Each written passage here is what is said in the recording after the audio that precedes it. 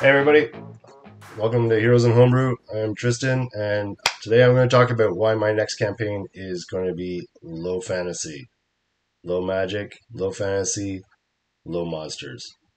So, let's get to it. I'm not done, but I'm kind of done with the super high fantasy of things like D&D. Um, there's a place for it, and it's still fun to play. But lately, I've been getting into the idea that I want my next campaign, my my next campaign world, to be something that's low fantasy and gritty, and there's a car horn going on in the background. Um, so that's why I kind of am going to go with very few races. It's going to be humans, dwarves, or elves, and even the dwarves and elves are going to be offshoots of the human race, not complete races of their own. Uh, magic is going to be dangerous to use. It's going to be rare. Things like hundreds of different magic items for players to find are not going to exist. There might be some that are sort of special items to the world, but largely they won't be there. The typical fantasy monsters like orcs, goblins, kobolds, even dragons are not going to be there. It is going to be something in the lines of the pulp adventures of Conan and Robert E. Howard and things like that. That's kind of the world I'm going to. and I'll tell you why. Because I fell upon this. This is Low Fantasy Gaming, the low magic high adventure role playing game by Stephen J. Grodzicki. I hope I'm pronouncing that right, and I'm probably not. However, I fell upon this on DriveThruRPG looked interesting. I picked it up. And let me say, when reading through it, it really got my mind like going. It's not 100% what I'm going to go for in my next campaign, but it's it's there. It's an OSR game, which is another reason like me falling into the OSR rabbit hole has kind of got me thinking about how I can take these very few race and class choices and bring them even smaller and make them even more sort of important and stand out in the world. So let's look at what what is low fantasy gaming. This is from the book itself. It's rules light, like a lot of OSR games. There's very few rules. A lot of the rule, a lot of the rulings are going to be done at the table by the game master or through roleplay. There's fast and engaging combat. There's another thing that's pulled me away from D and D is the combat takes so long. I don't want to be sitting there doing the same fight for an hour and a half of a game that's we're going to be playing for maybe two, three hours at at a shot. I want to be able to get in, make the combat brutal and gritty, and maybe not everyone's going to survive, and get out and keep going with the game. Dangerous and gritty, absolutely, 100%. This is what I'm looking for. A realistic world, like uh, I was saying, like like Conan. That's kind of the world I'm going for. Where Conan takes place in sort of the prehistory of Earth. That's what I'm going to go for with my campaign setting. And I'm going to create my campaign setting on this channel from scratch. So maybe in a couple of days we'll have the first video for that. Dark and dangerous magic. Yes, the I borrowed a bit of this magic system for my my system that I'm going to use, where using magic could have dire consequences. Uh, there's not hundreds and hundreds of spells. There's not four different classes that use magic. Uh, the game I'm creating for this campaign world is going to be there's one magic using class. There are a few spells, and every time they cast a spell, it could kill them. Riches and Glory, like a, a lot of OSR games, this is what we're going for. We're making going to make money, and we're going to make a, a name for ourselves from through conquering dungeons and exploring the wilderness. Open world, absolutely. This is what like kind of another part of what drew me to the OSR games is the idea of doing things like hex crawls and creating a map that's virtually undiscovered and creating this world along with the game. And then finally, in the intro, we have what LFG is not. This book does not describe a new low magic fictional setting. I'm going to create that myself. It's a generic rule set for use with published low magic worlds or a world of your own creation. I'm to make my own creation. I should note that there is a campaign setting to use with this game, and there is a a bigger version of these rules for sale on DriveThru. If you're interested, you should go pick it up. It's very cool. So, core features of this game, some of which I borrowed to for my own game, which I will also show you guys one day. So five classes only Barbarian, Bard, Fighter, Rogue, Magic User. For my game, I have Barbarian, Fighter, Criminal, and Mage. So basically the Rogue, Magic User, Fighter, Barbarian. I left Bard out. 12 level maximum. Yep, I kept it. I kept mine at 12 levels. Roll equal or under attribute with modifiers to resolve uncertain actions, making every attribute point matter. Uh, this is pretty typical in a lot of role playing games. You'll have either your, usually now in modern ones, it's roll equal or above. Um, for mine, I did equal and above two because I think it's going to be easier for people coming from more modern role playing games to do that. There's two new attributes willpower and perception, which replace wisdom. Uh, for mine, I just used willpower. Perception is either going to be finding out what people see through their role playing, the questions they ask about where they are, or it'll be uh, a roll. Skills provide access to level based reroll pool. Uh, this I didn't I didn't put in mind. Uh, it's a cool idea. However, I I didn't really think that it would fit with what I wanted to do.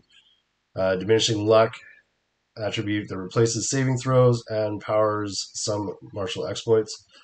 Uh, for mine, I just left with a I used a single saving throw uh, score for each class at each level minor, major, and rescue exploits. This is a very cool mechanic. However, again, I didn't use it, put it in mind. Dangerous combat. I my the combat I'm using. I'm using a bunch of different sources. Um, it's very going to. It's very going to. It's going to be dangerous. Uh, I added uh, escalation during combat. So every round, everyone gets a plus one to hit and damage. So every run, every round, their plus pluses to hit go up. Uh, this uh, low fantasy gaming has uh, injuries and setbacks when uh, players get to zero hit points. That's something I didn't add into mine when I was writing it, but I think I might go back and add something like it because I kind of like the idea of there being sort of permanent effects uh, from combat, like losing an arm and whatnot. It's something that'd be kind of cool to to role play and uh, add into the story. and players test to see if a downed adventurer is dead only after combat has ended. That's a cool idea. It's like uh, it is there is a mechanic to it. Um, I think it's kind of cool. It leaves a little bit of tension when you leave, get down to zero hit points, and you don't know if you're dead until your buddies come over and like roll your body over and see what's going on with you. However, uh, again, uh, it's not something I put into mind, but it maybe might be something I add in later as a house rule. Uh, party retreat and chase. uh, five minute short rests. Uh, I don't. I didn't use that. Dark and dangerous magic. I used a mechanic that's kind of like that. Um, they went through a lot of work into when the when the author created this game. The dark and dangerous magic table is huge. It's uh, I think you roll a D one hundred on it. It's very creative. I um, kind of borrowed this mechanic and I changed it a bit. Uh, my table is just a a D twenty. Or I might expand it. I was kind of running low on ideas for it. I didn't want to steal outright from another game. Rare magic magical items with obvious and discrete properties that unlock as their owners level up. That's very cool. However, I wanted to bring my world even lower so that magic items are going to be extremely rare and they'll probably be very powerful. Things like uh, magic potions probably won't be around. I haven't really decided on that yet. Um, like healing potions, I think it's going to be more of like take take your buddy to an apothecary, and a healing potion will be like a mixture of stuff. It won't be magical. Online play support, you can get one of your character sheets for Roll20. That's cool. Rules as guidelines. It's a thing, something I've put into mine because um, I did write up all my rules, and maybe eventually I will release it on DriveThru if people are interested in it. Um, I think that's another that's another aspect of OSR, even though it's in things like 5e. A lot of places that say the rules are just guidelines, make the game you want to play. However, there's a lot of talk online in Facebook groups and forums of like, what does this rule mean? And people trying to get the actual right rules down. Whereas I find that bogs down the game and it stresses me out as a GM. I want to be able to be like, there's no rule for this. I'm making it up. If it doesn't work, we'll change it for next time. I, I can't stress how much it bothers me to constantly have to be looking up rules for every specific situation. Uh, when I wrote up the rules for what I'm going to use for my campaign world, there's very few. I think the entire player book that I created is maybe 40 pages, and most of that is character creation. Actually, most of it's spells. But so how to play goes through typical and creating characters very simple follow attributes so i'm not going to bother you with that uh, but that's what this this book is what tipped me off for sort of going to that low fantasy um, ideal for my campaign world. Uh, I strongly suggest you pick it up. Uh, I think, if I'm not mistaken, I believe this was free. This version of the uh, the rules. They do have a, a, larger book with more classes and uh, races and stuff. Which, if you like this, you should pick it up. now, really, it was things like this, The Art of Frank Frazetta, that seeing the low fantasy gaming book, um, getting into the OSR and the play styles of OSR and putting all of these things together is what really got my mind thinking of like I'm going to move away from the high fantasy superheroes of D and D and get into hacking hacking together my own system that'll work in my own world. And it was sort of like all this became like an inspiration to me to do what I'm planning on doing or what I hope will work out. It might fail miserably, which would be pretty awesome as well but you see like it's just a dude with a big axe hacking apart opponents. Stuff like that that I got into recently. I've been rereading all of the Robert E. Howard Conan stories, um, getting ideas for what that world is like to, you know, I'm just to say it, I'm to outright steal stuff from my world. Why not? That's what we all do as GMs. All good GMs, they just steal stuff from everything they around they see around that inspires them and molds it and makes it their own. That's the way. That's what we do. So I've been going through that a lot, and I'm just about ready to start to sit down and start making my world. Um, I'm going to start small. I'm going to create just a small area map. Uh, I have an idea for what my world's going to look like. It's going to be prehistory, like sort of like a the Hyborian age. It's going to be sort of a little magical and mysterious, but with things that we can recognize now, like barbarians and Vikings and pirates, and I've got like an idea in my head for like a a desert that has sort of these marketplaces that smell of spice and are colorful silk clothing. So all this stuff that I've like going to somehow manage to mold into a world, but it's going to start very very small, and it's going to be just a small town, an area around, a few points of interest, and I'm going to let my players hex crawl to it. I don't have players yet. I don't have. I don't know if I'm going to run this in person or if I'm going to run it in, online. But I'm going to start making it because for me, part of the fun is creating that world. Um, but I'm not going to fall into the trap of thinking I have to create everything for the world and it's all going to be right. I'm going to create a bit of it and just keep building as play goes on.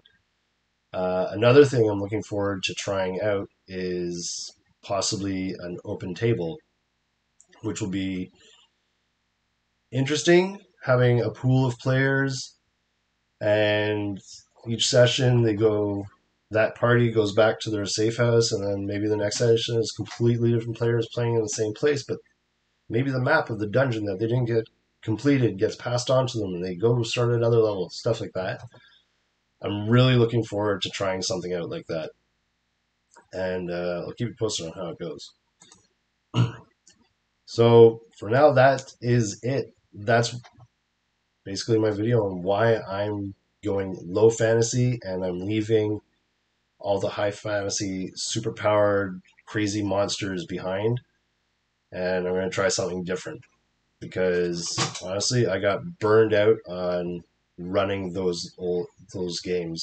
Those games where I have to find out where every race fits into my world because someone wants to pay, play a Kenku monk and how how do Kenkus fit into my world? I never thought about that. And there's 15, 20 different races for that people are choosing from and they're creating all these crazy ideas, which is great. It's fun, and for people who love that game, that's amazing. But for me, I was getting burned out on it, and I was burned out, getting burned out on this that style of play where I had to create a story and make sure the players are going along with the story. And if they veer off, well, I got to change the direction of the story because they expect there to be an overarching story, but I don't want want them to feel railroaded and so I'm going open world, sort of sandbox, let them go where they want. Their actions are going to mold the world around them. And there might be an overarching storyline that is playing out throughout their adventures, but it's not going to be like, well, you guys got to follow this storyline because this is what I have laid out. At any rate, I hope this was interesting. I hope maybe it gave you some ideas maybe gave you uh, a game to go check out. Or look at the rules and maybe steal some things for your own your own game. And until then, uh, keep your, your table open for me. Bye.